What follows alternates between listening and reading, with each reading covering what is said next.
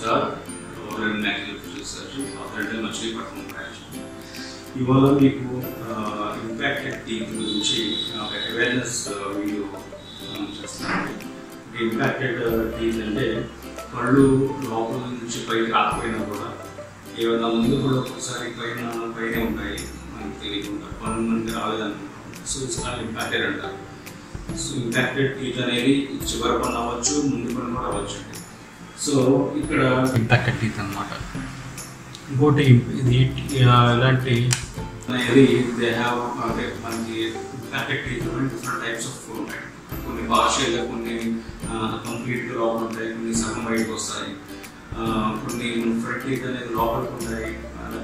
So this all follows different types impacted partially completely అలగట్ట teeth అంటారు so ఈ impacted teeth అనేది ఆ, అంటే క్రౌడింగ్ స్పేస్ లేక ఇలా రావడం కూడా వస్తుంది. చూసారా? ఇక్కడ రావటం కారణం ఏం కారణం అంటే స్పేస్ ఉండకపోవడం. ఇంకోటి నీటి పైకి వచ్చేటప్పుడు ఏదైనా ఆబ్స్ట్రక్ట్ చేసినప్పుడు కానీ ఇలా వస్తాయన్నమాట. ఇలా ఉంటారంటే మనకి టీత్ లోపల ఉన్నాయి కదా సార్ మనకి ఇబ్బంది లేదు అంటారు.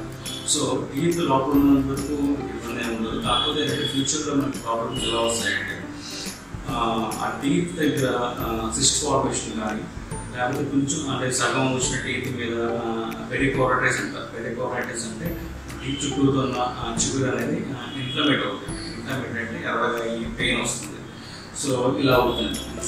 ఈ పైన షుగర్ అనేది ఇలాగా స్వెల్లింగ్ ఇంటికి వస్తుంది అంటే ఫుడ్ డిపాజిట్స్ అవుతాయి అనమాట ఫుడ్ డిపాజిట్స్ అని లోపల ఇరుక్కొని ఆ షుగర్ వస్తుంది. సో దానివల్ల కూడా మనకి ఇబ్బంది ఉంటుంది ఈ సగం మొత్తం మనకి సో ఏమవుతుందంటే పక్క ట్రీట్మెంట్ మీద పడుతుంది అప్పుడు ఏమవుతుందంటే అక్కడ ఫుడ్ డిపాజిట్స్ అయ్యి ఆ డిపాజిషన్ ఈవెన్ ఫోర్స్ ఎక్కువ ఉండడం వల్ల ఆ పక్క టీత్ కూడా పాడైపోతుంది. సో ఆ ఏరీస్ అనేది స్ప్రెడ్ అవుతుంది.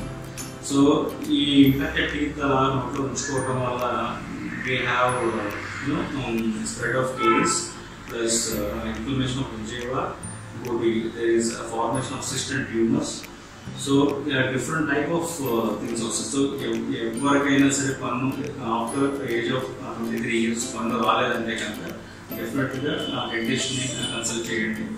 సో దేవుడికి ఎక్స్రే తీసుకుంటారు. తీసుకుని పన్ను ఏ షేప్లో ఏ పొజిషన్లో చూసుకుని తీసుకోవడం అనేది ఎప్పటికైనా మంచిది.